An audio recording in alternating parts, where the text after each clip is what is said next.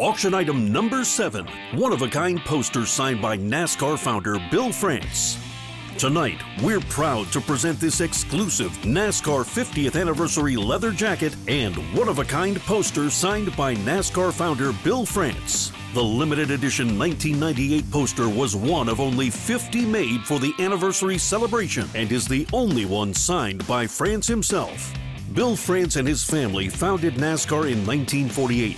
From its humble beginnings in Daytona Beach, the sport expanded throughout the U.S. and now internationally, with events in Japan, Australia, and a full time race schedule in Mexico.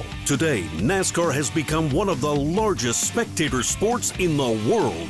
These extraordinary items originally sold in 1998 for $100,000 to a longtime supporter of the Boys and Girls Clubs of Broward County. They've been donated back for auction tonight with no reserve to the highest bidder. This amazing individual has contributed over $4 million to our clubs. Now you have the opportunity to own these one of a kind pieces of NASCAR history. So bid to win, because there's no prize for second place.